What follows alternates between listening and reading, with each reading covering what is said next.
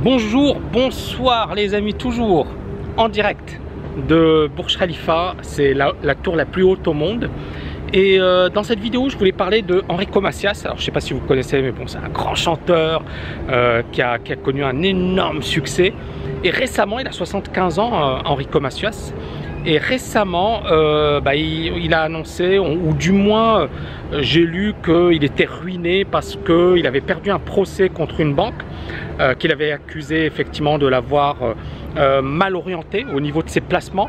Et puis, euh, bon, il a dû perdre quelque chose comme 35 millions d'euros. Donc, il va devoir vendre sa villa, etc. à 75 piges. Et alors, pourquoi je parle de, de, Enrico Macias C'est quoi le but entre ma chaîne et Enrico Macias alors attention, je ne suis pas tombé dans le piège des people, etc. Mais ce que je veux dire, c'est que vous avez des gens qui sont des stars ou pas, qui ont de l'argent, qui ont un patrimoine et qui ne savent pas le gérer. Ces personnes vont faire confiance à des banquiers, à des conseillers financiers pour le placer. Elles se disent, ces gens-là, ils veulent mon bien, ces gens-là, ils vont m'aider à, bien placer mon argent, ces gens-là, ils sont sérieux. Et euh, c'est comme ça qu'on comprend pourquoi Madoff a arnaqué énormément de personnes, pourquoi finalement beaucoup de personnes effectivement euh, perdent toutes leurs économies. On se, souvient également de Mike Tyson. Je ne sais pas si vous vous en rappelez, mais Mike Tyson, il a perdu quelque chose comme 500 millions de dollars. Et puis, pire que ça, c'est-à-dire que non seulement il a perdu toute sa fortune, mais en plus, il s'est endetté, d'accord, euh, de 35 millions de dollars ou quelque chose comme ça. Donc à partir de là, c'est super intéressant parce qu'on se dit, bah, ces gens-là, ils avaient énormément d'argent, ils avaient un gros patrimoine, mais ils ont été incapables de le gérer intelligemment.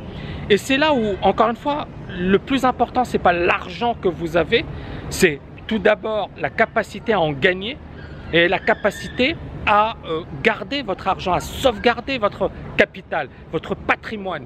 Et c'est la raison pour laquelle moi dans, dans TKLFA, j'ai beaucoup beaucoup travaillé sur ces dimensions. C'est-à-dire que je vous montre non seulement comment changer l'état d'esprit, comment développer effectivement des actifs, que ce soit dans le domaine de la bourse, dans le domaine de l'immobilier, dans le domaine du business à travers le pilier bourse, le pilier immobilier, le pilier mini-empire sur Internet.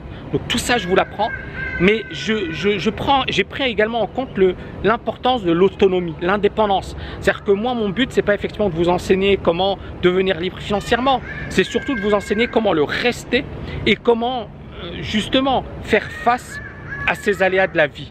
Comment être autonome face à un banquier, comment prendre ses, propres décisions et ne pas se faire berner, ne pas se faire arnaquer par ces gens-là parce que malheureusement, il y a énormément de Enrico Macias. Alors Enrico Macias, c'est une star, elle est connue, mais il y a énormément de personnes qui sont anonymes, qui se font berner par les banquiers, qui perdent toutes leurs économies et qui à la fin pleurent. À 75 ans, elles ont tout perdu. J'ai parmi effectivement des dans mes vidéos, j'avais parlé euh, d'une personne qui avait 69 ans et qui avait également perdu l'intégralité de son Voilà, j'espère que vous avez aimé cette vidéo. N'oubliez pas de la liker, de la partager un max. Et je vous dis à bientôt les amis. Ciao, ciao, ciao